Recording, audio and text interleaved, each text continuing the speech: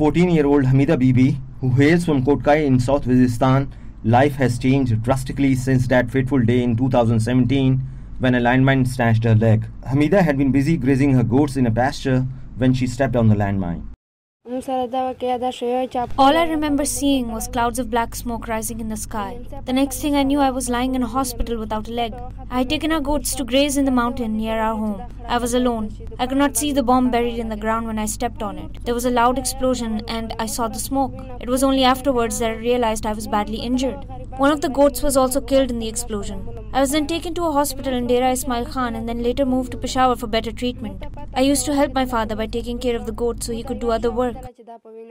The military Operation Rah-e-Nijat was launched in South Waziristan in 2009, forcing some 70,000 families to leave their homes and become internally displaced people. After the military operation ended in 2010, the process of repatriation of victims began immediately. By 2018, most of the displaced families had returned to their homes only to find scores of landmines buried in their soils which used to be safe. This marks the beginning of the landmine crisis in what is now the former FATA region. According to Alamzeb Masood, member of the core committee of the Pashtun Tahafuz movement, there has been 179 landmine explosions in South Waziristan. These landmine explosions began with the return of the residents to South Waziristan in 2013 these explosions have left some 300 people injured, most of whom are women and children, while 14 people have been killed by these landmines so far. Hamida Bibi is disgruntled by the government's extremely slow-paced response to the crisis. My father had to sell his cattle for my treatment. I used to go to school, but since I had lost a leg, I cannot manage to continue my education. The government should compensate us like they compensate other victims of terrorism. Much like Hamida Bibi, 18-year-old Taj Muhammad, a resident of Kotkai, also lost a leg in a landmine blast while grazing his goats in a nearby pasture in 2016.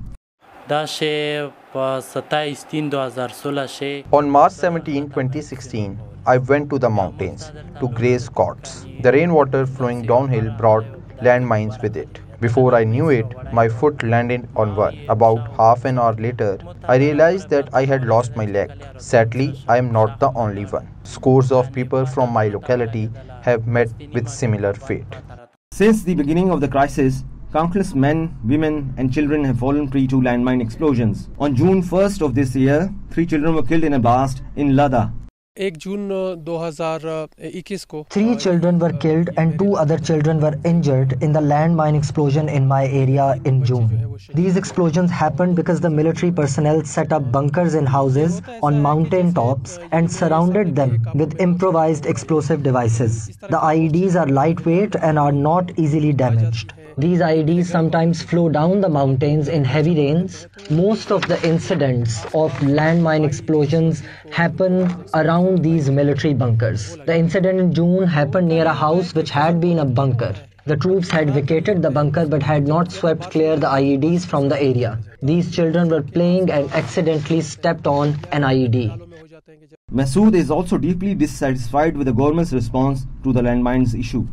जैसे 2018 को जब धरना दिया था तब In 2018, the Pashtun Tahaffuz movement held a very large protest demonstration to pressure the government to clear out our area of these mines, but till now no effective action has been taken in this regard. The government tells us that these landmines have been set up by terrorists. I say to them, we do not care about who put these landmines in the ground. All we know is that it's the state's responsibility to remove them so that the citizens of our area can feel safe and secure once again. Meanwhile, Deputy Commissioner South Waziristan Khalid Iqbal says that the government has cleared explosives from many areas and work is still underway in several other places. We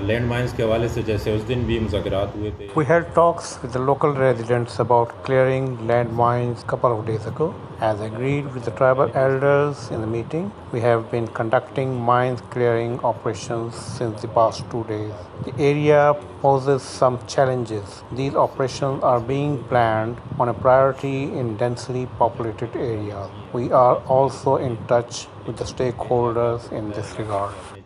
But landmine victims in South Waziristan are frustrated by the lack of government assistance and compensation. Taj Muhammad, who is crippled in one leg, has trained as a tailor but could not find any work. Hamida Bibi laments the expenses her father had to face alone for her treatment with no government aid.